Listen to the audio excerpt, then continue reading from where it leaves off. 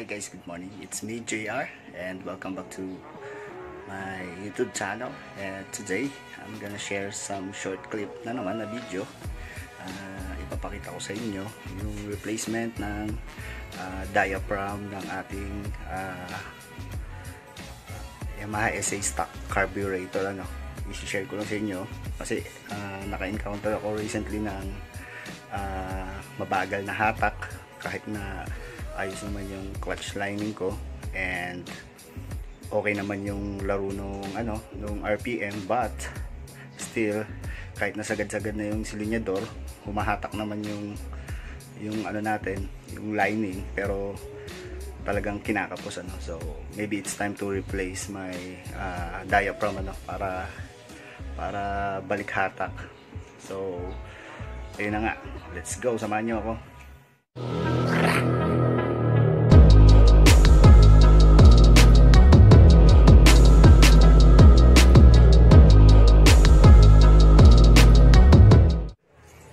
So ayun na guys, no, natanggal ko na yung yung ating stock carburetor. So tatanggalan ko na ng ng cover para maabot natin yung diaphragm. So ang case ko kasi no, bali yung yung hatak ko hindi na siya lumalampas ng ano ng uh, 80 80 km per hour no. So dapat makaka-reach man lang tayo kahit 100 or 90 pagka sinagad na natin yung ating ano uh, carburetor so ayun. Ito na nga ano. Nung natanggal natin makikita natin na hindi na talaga nakalapat yung ating original na ano uh, original yung dati. Dati nating diaphragm. So yan oh, may singaw. Hindi na talaga siya lumalapat. Ibig sabihin kailangan ko na talaga itong palitan para balik hatak. Kasi uh, kahit anong pilit ko sa sagad na ako sa gear. Tapos halos sumasagad na rin yung silinyador ko. Hindi na talaga siya nakaka-reach ng 100 talagang mahina na sa speeding. Pero pag sa hatakan naman may hatak naman talaga siya. So ito original na diaphragm. Uh, nabili ko for only 200 200 plus 200 something mga ganyan So, ipapakita ko sa inyo yung difference nung gamit na for 6 years. 6 years na nagamit dun sa bago. Tingnan natin kung ano yung pagkakaiba. Tanggalin muna natin to.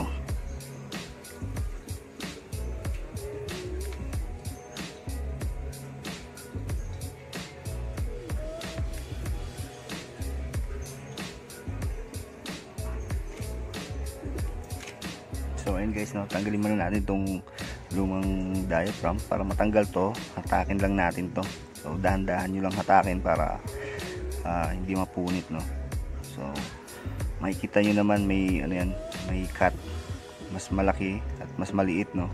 So pag kinabit mo yung bago, pag kinabit natin yung bago, hindi tayo maliligaw kung paano siya natin ikakabit kasi meron siyang kanal.